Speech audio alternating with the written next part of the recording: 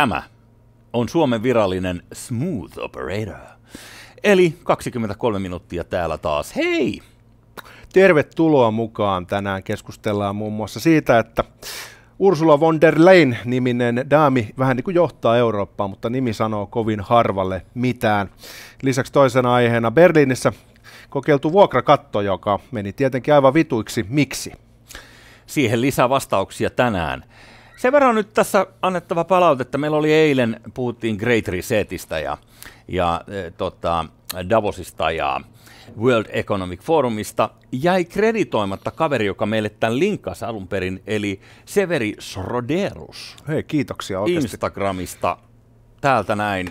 Yhteistyöllähän tämä sujuu parhaiten. Aika paljonkin itse asiassa tulee noita tuota, vinkkejä siitä, että mistä kaikesta voitaisiin jutella. Ja meidän kunniaksi täytyy sanoa, että kyllä me niihin tartutaan myös. Tämä mm. nyt yhtenä esimerkkinä.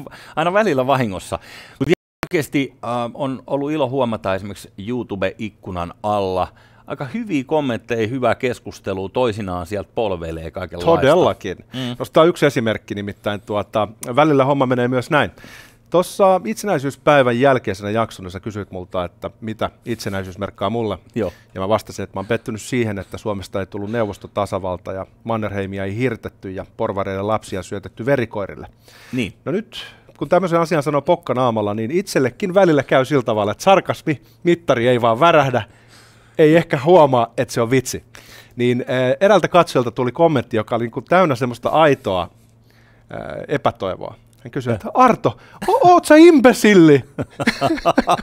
me yritettiin kyllä kovasti hekotella siihen päälle. Me yritettiin lyödä sitä läskiä. Ihan pokkanaama. Mm. Ja tota, mut tälleen, mut, mut, mä vastasin hänelle sitten, tota, että että tässä on niin pieni sarkasmi mentävä aukko, ja sitten hän pahoitteli ja totesi, että tota, olisihan se pitänyt tajuta, mutta kun tämä maailma on tällainen 2020, niin mä ymmärrän ihan täysin.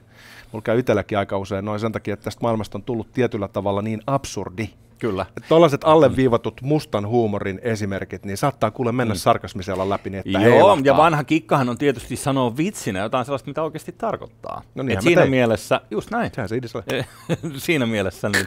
Oletko niitä, jotka Tampereella töhrii Marskin patsasta? Mä luulen, että mä olisin niitä, jotka ensimmäisenä lähettäisiin sinne leirille. Gulakkia kun pystytettäisiin, niin Koskela olisi ehkä ensimmäistä joukossa. Hei, toiveesi ehkä tote- toteutuu vielä tässä lähivuosina. Katsotaan. Katsotaan, jos Euroopan unioni mm. vaikka järkkäisi meille jonkun sellaisen vaihtoehdon. Siis tämä mm. tietty siipihän aika mielellään puhuu Eurostoliitosta. Mm-hmm. Tai mikä tietty siipi, Laura Huhtasaari ja kumppanit. Heille se on niinku sellainen, tiedätkö, alkava fasistinen äh, mustekala, joka kuristaa meidät kaikki kohta hengiltä. Sillähän on sitä myyneet tässä parikymmentä vuotta ja nousu on ollut kova. Voitaisiin sen kunniaksi ehkä puhua vähän Euroopan unionista. Puhutaan. Nimittäin tuossa tsekkasin vaan Ursula von der Leyen, joka on ollut siis äh, komission puheenjohtaja mm-hmm. 2019. Häntä ennen oli Juncker ja sitten, sitten oli Barrossa ja Prodi, mutta näitä jäänyt vähän kasvottomiksi hahmoiksi. Mm-hmm. Ja hänet valittiin 2019 tähän pestiin, joka muuten on englannin kielellä komission presidentti. Joo. Mikä kuulostaa paljon hienommalta, hän kuulostaa niin Euroopan unionin presidentiltä englanniksi. Se kai siinä on ollut vähän sävynä, että se mikä tietysti tuolla europarlamentissa on kovasti kiihdyttänyt esimerkiksi tätä Brexit-porukkaa, on se, että nämä komission ihmiset ei nauti minkäännäköistä demokratiaa tai demokraattista luottamusta, vaan ne valitaan ihan muilla tavoin omiin pesteihinsä, kuin että me saataisiin niin valitulokset, valitulokset vaikuttaa luonnollisesti siihen, mutta ihan samalla tavallahan Suomessa puolueet valitsee puheenjohtajansa Joo, totta. itse, ja sen jälkeen äh, katsotaan, että kenestä tulee pääministeri sen perusteella, että kuinka paljon äänestäjät äänestää. Niin, ja ylipäänsä, toi... että et sä pysty niin puheenjohtajiin vaikuttaa Suomessakaan. Se, se, että jos sä äänestät tietyn puolueen ehdokasta, niin sulla ei ole kuitenkaan niin mitään osa-aika-arpaa siihen, Juuri kuka näin. sitä lopulta johtaa. Mm. Just näin. Joo. Toi Boris Johnson on ollut pikkasen tuottaa, hän on ollut pikkasen hankala näissä Brexit-neuvotteluissa. Johtuu ehkä siitä, että hän on pikkasen tota, idiotti. E, mutta niin? hän on, hän on tota... Hiuksista päätellen hän on todella älykäs kyllä. Joo, Joo. hän on hyvä pitää saman puheen kuulemma useaseen kertaan. Ja siihen aina liittyy se, että hän esittää, että hän keksii sen spontaanisti siinä hetkessä. Noniin. Oikeasti se on harjoiteltu rutiini. Tämmöisiä juttuja ei saisi koskaan paljastaa ihmisestä. Mm-hmm. Mutta se osoittaa, että hän on taitava poliitikko. Mutta hankala neuvottelukumppani hän on vissiin ollut Euroopan unionille. Ja nyt kun on kinasteltu siitä, että kuka saa kalastaa missä ja mitä Pohjois-Irlannin rajalle tapahtuu, niin kun Euroopan unioni on lähettänyt kovimman nyrkkinsä paikalle. Ei kai vaan Ursula Se sattuu Leyen. 62-vuotias saksalainen daami. Mm-hmm. Tuttu nimi, kun nyt lehtiin lukee, ja jollain tavalla ehkä tutun näköinen hahmo, ne näyttää kaikki vähän samalta. Se Christine Lagarde Euroopan keskuspankista, niin mun päässä nämä menee sekaisin. Laitetaan tuosta mm. toi kuva, niin nähdään. Ne on aina ton näköisiä, tiedätkö, ulkonäkö voi pettää hymyileviä daameja, jolloin tuolla on samanlainen konservatiivinen kampaus. Niillä on ikään kuin kiinteistövälittäjän luukki aina vuodesta toiseen. Ehkä tällaista Hillary Clintonia aika paljon nähtävillä myös. Niin on, totta. Ja toi syö aamupalaksi Boris Johnson. Tämä on nimittäin aika kova tyyppi. Mä aloin sitten vähän katsomaan, että mitä hän kaikkea hänen niin elämänsä aikana tehnyt. Mm. hän on tosiaan siis tota, syntynyt ensinnäkin Belgiassa, mutta on saksalainen. Ja sitten hän on opiskellut ensin lääketieteen tohtoriksi, ennen kuin mm. lähti politiikkaan. Ja sitten hän päätyi ministerin pesteihin, muun muassa ollut sosiaaliministeri, perheministeri, ja sitten 2013 hän oli Saksan eka naispuolustusministeri. Kyllä. Ja tota, nythän on sitten Saksan komission... Elisabeth Rehn. Niin, ja siis Saksa on niin snadisti konservatiivisempi kuin Suomi, eli se ei oikeastaan ole yllättävää, että se tapahtui 20 vuotta myöhemmin, mutta kuitenkin lasikatot menee rikki, kun tämä daami etenee urallaan määrätietoisesti. Mm. Niin kaiken tämän hän on tehnyt samaan aikaan, kun hän on hankkinut seitsemän lasta. Okei. Okay nämä Madonna-mallisesti jotain ottolapsia? Vai hän, hän on itse... Hän on putkattanut seitsemän lasta. Oho. Samaan aikaan hän on tehnyt ton. Sitten mä ajattelin, että no okei, hänellä on varmaan, kato sitten tämmöinen oikein kuule progressiivinen, moderni mies, joka siellä on kotifaina. Paska vitut, se mies on äh, professori mm-hmm. ja toimitusjohtaja samaan aikaan. Kokeilepa sitäkin temppua perässä. Tiedän yhden, joka tekee tätä. Mutta tota, heidän edukseen on sanottava, että he molemmat, äh, siis sekä aviopuoliso että von der Leyen, Ursula von der Leyen edustaa kuitenkin aika tällaista niin kuin hienoa sukutaustaa. Mm-hmm. Aatelisnimi tulee vissiin tuolta miehen puolelta, mutta myös hänellä on niin kuin sellainen suku, missä sitä fygyä riittää. Että lastenhoitajia varmaan on pystynyt palkkaamaan kohtuullisen hyvin. Mutta kyllä mä hei, mä nostan hattua, jos sä luot tuommoisen uran, Kyllä. Ja samaan aikaan pyöräytät seitsemän lasta ja ilmeisesti niitä lapsia ei edes ole huostaan otettu sen takia, että ne olisi heittele jätetty. Kyllä. Ja tämä nyt on toimittaja Koskelolta tällaista vihapuhetta, koska joku saattaisi huomauttaa, että miten niin, että eihän tämä ole mahdollista, että siis kyllä naiset voi siinä, missä miehetkin tämän tempun tehdä. Niin, no siis mm. täydellisessä maailmassa, mitä kohti tässä yritetään mennä. Siis Just siis kohti sitä tasa-arvoa, mutta siis niin kauan kuin tuo biologia tuossa kuitenkin näyttelee kohtuullisen suurta roolia synnyttämisessä, niin... Mm. Voi, mieskin, toi... mieskin voi synnyttää, niin kuin tiedät hyvin. Usein sanotaan, että naisen pitää valita ura mm. tai äitiys. Ja sitten Joo. Suomessa esimerkiksi pystyy yhdistämään kohtuullisen hyvin. Kyllä. Koska, koska me miehet ollaan niin hyviä, että me autetaan. Niin. Mutta mut seitsemän lasta, kyllä mä, mä ihmettelen, niin kuin, että mm. ensinnäkin, minkälainen ihminen hommaa seitsemän lasta, Mm-hmm. Mun yksikin on aika paljon. Sellainen, joka ei usko ehkäisyyn. Niin, mm. tämä kävi mielessä. Siis sehän mm. edustaa samaa puoluetta kuin Merkel. Joo, mikä on tämä kristillis, kristillis keskustalais oikeistolainen viritelmä, niin olisiko siinä joku kuule tämmöinen snadi tota, viba, että tuota, ehkäisy on vähän saatanasta?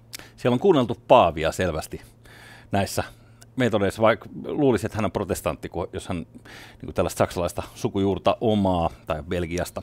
Mä ihan tarkkaan tiedän, Belgia on muutenkin sellainen ihmeellinen sekametellisoppa, että siellä on tosi kovin jännitteitä tota, tämän äh, hollantilaisen ja ranskalaisen puolen välillä. Eli flaamit ja, ja vallonit. Ja sitten niillä on kuulemma äh, semmoinen homma, mä juttelin yhden äh, belgialaisen tota, mm, sellaisen erikoisasiantuntijan kanssa kuulet tota, eräässä virtuaalitapahtumassa kun kuukausi takaperin.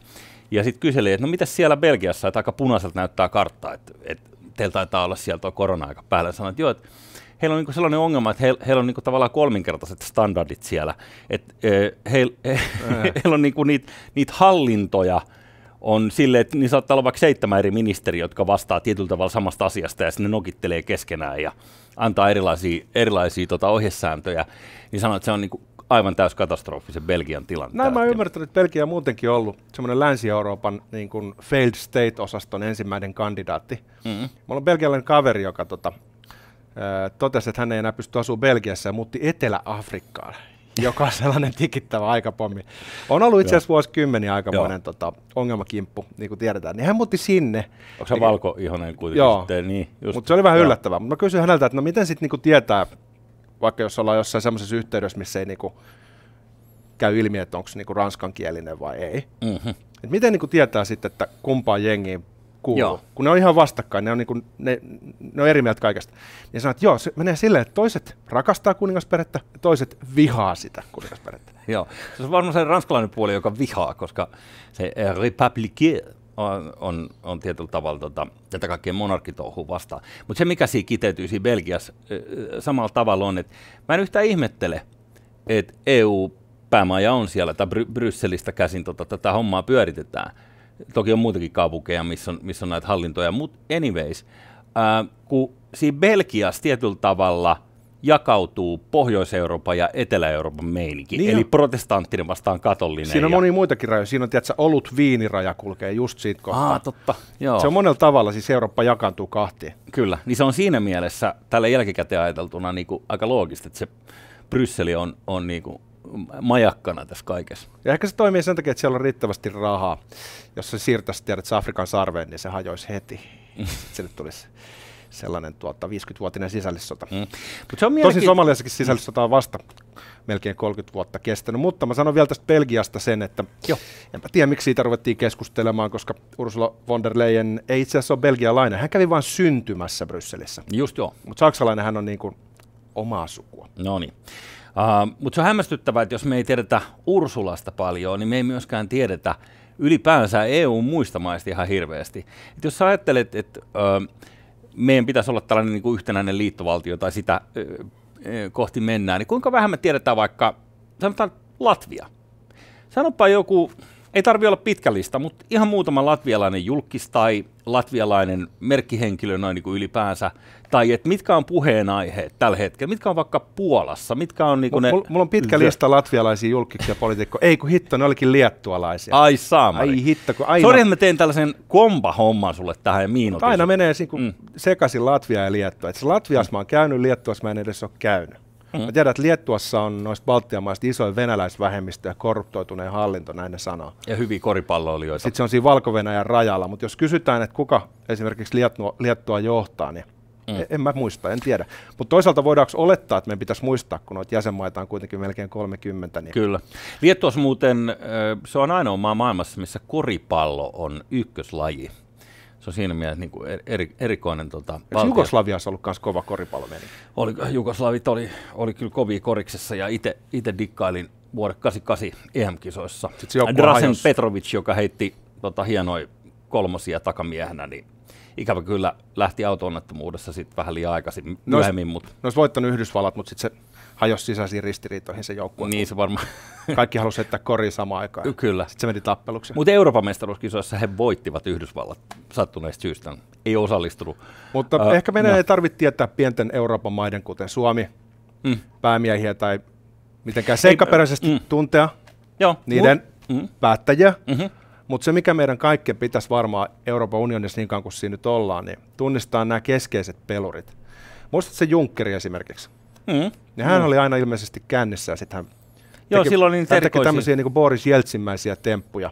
Hyviä videoklippejä löytyy YouTubesta hänen ö, erilaisista halailuista ja, ja tota, tervehdyksistä muun muassa, mitä hän tekee. Mutta jos nyt menis kysymään Helsingissä, missä ihmiset lukee enemmän sanomalehtiä kuin melkein mm. missään muussa pääkaupungissa maailmassa, mm ja näyttäisi vaikka Junckerin kuvaa tai sitten tota von der Leyenin kuvaa kysyisit, mm. kuka tämä on, niin mitä veikkaat, että kuinka moni ihminen saisi oikein? Aika, aika naftisti. Keskuskauppakamerilla joku tietää ja siinä se alkaa olla. No, ei, toi, toi, ei Margaret Thatcher, vaan toi, toi, toi se Lagarde, se, se pankkiiridaami, just se, joo. joo. Ei, ei, ei.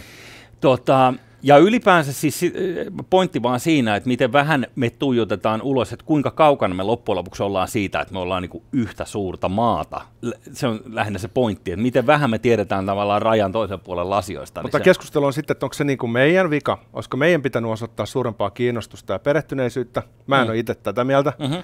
Vai pitäisikö jollain tavalla sen byrokraattisen Eurostoliiton tulla lähemmäksi meidän arkea? Tätä mieltä mä oon. Mm-hmm. Että se on tietyllä tavalla niin kuin ongelma, samalla tavalla kuin jos ajatellaan niin kuin tavaramarkkinoita, niin sun pitää pystyä brändäämään tuotteet tunnistettaviksi. Kyllä. Et muutenhan sä et niin kuin pärjää, jos sä näytät ihan samalta kuin kaikki kilpailijat. Mm. Niin mun mielestä Euroopan unionille ei edes ole kilpailijoita, ja se on silti epäonnistunut mm. erottumaan mm. muista. Niin, joo, äh, tähdet puuttuu. Tähän on yleinen ongelma lajissa kuin lajissa, että sellaisia tyyppejä, jotka herättää mielenkiintoa niin paljon, että no okei, Boris Johnson esimerkiksi. Nyt, tämä, siis, jos tämä von der Leyen, jos sä käynyt vääntämässä Boris Johnsonin tiedätkö, niskalenkki, antaa aivohierontaa, sitten sen tukkaa mm. vielä enemmän sekaisin kuin yleensä. Ja niin. Hän tulee voittajana himaan, britit häntä koipien välissä palaavat sinne saarellensa ja nuolevat haavojaan seuraavat 50 vuotta, niin silloinhan meillä olisi tämmöinen niin sankari, joka neuvottelee hyvän lopputuloksen Euroopan unionin vinkkelistä. Mutta tota, nyt kun tätä nauhoitetaan, niin ei ole ainakaan tiedossa, että onko se mennyt maaliin ne neuvottelut, joita paraikaa käydään. Aika huonolta näyttää. Mm. Ikävä kyllä, joo. Uh, mä en tiedä, miten toi, mä oon helvetin huolissani valioliigaseurojen uh, erilaisista siirtoasioista, että miten he saa nuoria junioreita just, joukkueeseen tämän Brexitin jälkeen. Tämä on niin kuin helvetin iso ongelma. Ennen kaikkea Tottenhamin toimesta, niin mua kiinnostaa tavallaan tulevaisuuden kyvyt siellä. Otatko Skotlannin mukaan tähän pikkuunioniin, jos ne haluaa mm. itsenäistyä? Ei mulla ole mitään Skotteja vastaan. Nehän pelaa sitä paitsi jalkapalloakin ihan ok. Mun mielestä olisi siistiä nöyryttää brittejä oikein kunnolla. Kun se imperiumi purkautui tuossa alkoi jo vähän aikaisemmin, niin viimeistellään se homma nyt, että lähditte sitten lätkimään, niin otetaan se Skotlanti ja liitetään se EU, Eurostoliittoon. Kyllä. Musta olisi ihan oikein heille. Ehkä, mutta hei, mennäänkö toiseen kulmaan ö, tätä pohjoista Eurooppaa, nimittäin Berliiniin? Pysytään Euroopassa, tämä on tämmöinen oikein eurojakso, mutta koittakaa kestä. Joo, erittäin europäissä täällä ollaan. Berliinissä ö, on tehty helmikuussa ö, kaksivaiheinen uusi järjestely, jossa ö, kyseessä on astunut vuokrakatto kun saksalaiset päättäjät ovat olleet hyvin huolissaan siitä, että, että jengi kiskoo toisiltaan liian isoja vuokria, niin he on nyt ö, ottanut tällaisen 12-portaisen järjestelmän, jonka idea on se, että se määrittää, siinä on helvetin monta eri parametria, mutta se määrittää maksimivuokran, minkä sä saat pyytää asunnoista. Onko tämä ainoastaan Berliinissä vai koko Saksassa? No Berliini on nyt tähän ainakin nostettu, koska ö, tässä on sellainen ongelma, että kun liittovaltio saattaa vielä – keikauttaa tämän koko järjestelmän päälailleen. Eli ö, tässä on käynnissä tietyt prosessit ja sen jälkeen voi olla, että takautuvasti tämä kikataan. Mutta ennen kuin mennään siihen, että millä eeppisellä tavalla tämä on mennyt päin persettä tietenkin, mm. niin pakko nostaa esiin, kuinka ironista se on, että nimenomaan Berliinissä ruvetaan säätelemään vuokria, koska se on ollut mm. Euroopan halvin pääkaupunki asua ja Joo. elää, vaikka kuin pitkään niin. Eh, niin kuin erityisesti ottaa huomioon kuin rikas maa Saksa on. Et sä oot voinut jostain tiedätkö, Lissabonista löytää niin kuin samanlaista meininkiä, mutta Berliini on ollut älyttömän halpa. Siellä on voinut vuokrata 124 sen kämpä ja maksaa siitä saman verran kuin helsinkiläisestä yksiöstä. Saanko ottaa esimerkin täältä? Täällä on haastateltu Josefin Damashkea, joka on maksanut reilu tuhat euroa vuokraa 77 neliöisestä berliniläisasunnosta ei ihan, ihan kuule keskustasta. No se on varmasti aika hyvä kontoinen asunto. Ei joo, 77 neliötä, vähän reilu 1000 euroa. No nyt vuokrakaton tultua voimaan, hän maksaa 695 euroa siitä.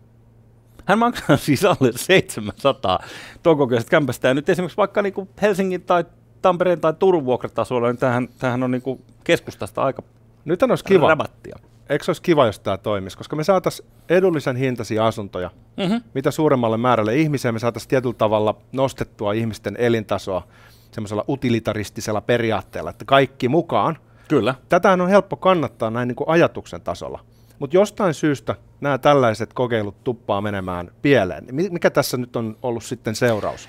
No, tälläkin kertaa valitettavasti näin. Sen verran taustatietona, että tässä on myös näissä parametreissa on hyvin tarkkaan määritelty, että minkä ikäisistä asunnoista saa pyytää mitäkin. Et esimerkki ennen 1918, eli ennen ensimmäisen maailmansodan päättymistä rakennetuista asunnoista, joissa ei ole lämmitystä, voi pyytää 3,95 euroa neljöltä. Eli esimerkiksi 104 yli 100-vuotiaasta asunnosta niin sä voit pyytää siis mitä 395 euroa, 104. Aika halpa. Joo, aika edullista. Tämä on aiheuttanut sen, että näihin asuntoihin on toisinaan tuhannen ihmisen jonot. Et kun joku listaa uuden ö, vuokramarkkinoille, niin sen jälkeen on tuhat ihmistä, jotka on niinku kiinnostuneita siitä. No mitäs nyt, jos me ajatellaan perinteistä rajahyötyteoriaa, eli kysynnän ja tarjonnan lakia. Sulla on joku asia, mitä kaikki haluaa, mm-hmm. tuhat ihmistä, Kyllä. Mutta sitä saa pyytää vain tietyn hinnan virallisesti. Niin mitä ilmiöitä silloin alkaa syntyä? Täällä väitetään, että lahjuksia on annettu. Ei, ei voi olla. Siis en homo sapiensin piirissäkö? Kyllä. Siis hyvää tarkoittavia ihmisten piirissä on siirrytty nyt sellaiseen, että kun täällä on haastateltu ihmisiä, jotka ovat maksukykyisiä, jotka haluaisivat asua niissä asunnoissa, niin olisi varaa maksaa vaikka mitä vuokraa, mutta ei. Sitä ei saa tehdä. Ja ö, tuota, tässä on siirrytty nyt tällaiseen niin kuin ehkä kotimaista hitas asuntoveivausta muistuttavaan meininkiin. Ja niille, jotka ei e, hitasin kanssa puliveivannut, niin kertokaa sen verran, että se on järjestelmä, josta ollaan luopumassa tai ehkä jo vähän niin kuin luovuttu, mutta siinä on määrätty tietyt hinnat, paljonko saat pyytää asunnosta. Se on tarkoitettu just tälle vähävaraisille tai, tai nuorille, jotka pääsevät kiinni ensimmäiseen asuntoonsa. Mutta Helsingin... käytännössä ollaan jo tilanteeseen, missä asunto maksaa alennetulla hintatasolla yli 800 000 euroa ja joku sellainen ylemmän keskiluokan kirurgi ostaa sen valtion subventoimalla hinnalla, että ihania nämä köyhät nykyään. niin se ei on. oikein toimi. Ja Suomessa ilmeisesti oli myös jonkin sortin vuokrasääntely 80-luvulla, mutta siitä luovuttiin 90-luvulle tultaessa siksi, että se ei toiminut. Mm-hmm. Mutta Ruotsissa ää, tätä on harrastettu ja siellähän toi Tukholman vuokra on ollut aivan sekaisin Kyllä. jo pitkä aikaa. Ja siellä on sellainen tilanne, että jengi maksaa pimeänä tuplavuokria, eli sitten on tullut ihan harmaan talouden bisnes, Joo. missä e, ihmiset, jotka saa vuokrakämpän Joo. Hyvältä alueelta, niin saman tien vuokraa sen eteenpäin sen takia, että se on keino tehdä rahaa. Sun ei tarvitse käydä duunissa, jos sä saat arpajaisissa tai siellä tuhannen ihmisen jonossa niin itselle sellaisen asunnon. Ja tämähän nyt to- todellakin vääristää ihan normaalisti tällaista niin kuin sanotaan tervettä taloutta. No kidding, no kidding. Uh, ajatus on tässä kaikessa hyvä, että saataisiin eikö niin, myös ne, jotka ei välttämättä tienaa vähintään osastopäällikön tasosta palkkaa, niin jotenkin asumaan nyt sitten tietyillä. Mä, mä ymmärrän tämän tavallaan, mikä tässä on niinku se ajatus, mutta sitten kun sä luot sen 12 pääsee hirviön, missä on erilaisia parametreja, niin se johtaa samaan kuin hitasasunnoissa. Esimerkiksi mun yksi frendi myy hitasasunnon, niin se myydään hinnalla X, mutta sitten sen jälkeen sovitaan yhteisesti, että tuo kynnysmatto maksaa itse asiassa 150 000 euroa siitä päälle. Näin niin, niin, niin, niin, What is this? Tälleen luodaan näillä himmeleen, luodaan sitä epävirallista taloutta, mikä sitten ylipäätään lietsoo. Ja kato Itäblokkiin. Laittomuuksia. Kato Itäblokkiin. Hmm. Kaikki nuo vanhat Itäblokin maat on käytännössä, niissä on tämä sama veivauskulttuuri edelleen, siis 30 vuoden jälkeen, 30 vuotta sitten, kun he vapautu esiripun takaa, niin, niin silti. Siellä veivataan tätä ihan samaa juttua. Et, on sanonut että ehkä ennenkin, mutta Ukrainassa jutteli yhden kaverin kanssa ja kysyin, että miten te voitte elää 300 eurolla kuukaudessa, kun se on teidän keskiansio. Hän sanoi, että juu, että oot sä niin tyhmä, että sä luulet oikeasti, että me eletään täällä 300 eurolle. Totta kai me veivataan koko ajan kaikkea. Ja tämä selittää myös Berliinin tapauksen sen takia, että sulla oli Itä-Berliini, joka oli täynnä sosialistisia kansalaisia. Sitten se oli Länsi-Berliini, minne ainoastaan radikaalit ja hurjat muutti silloin 60-luvulla, kun oli koko ajan pelkona, että tankit tulee. Kyllä. Niin sinne meni tietynlaista porukkaa. Ja voidaan sanoa, että Berliinin ilmapiiri on hyvin vasemmistolainen konservatiiviseen Saksaan suhteutettuna. Ja nyt mä sanoisin, että näissä himmeleissä ja kokeiluissa niin se mm. näkyy se näkyy. Ja mä en tiedä, onko tämä Berliinin uusi lentokenttä, joka, joka juuri näin koronan kunniaksi on, on, on niin kuin saatu valmiiksi, niin sekin kertoo jotain ehkä siitä kaupungista. Tilatkaa tämä kanava. Huomenna nähdään, koska kuningas on kuollut. Kauan kuningas.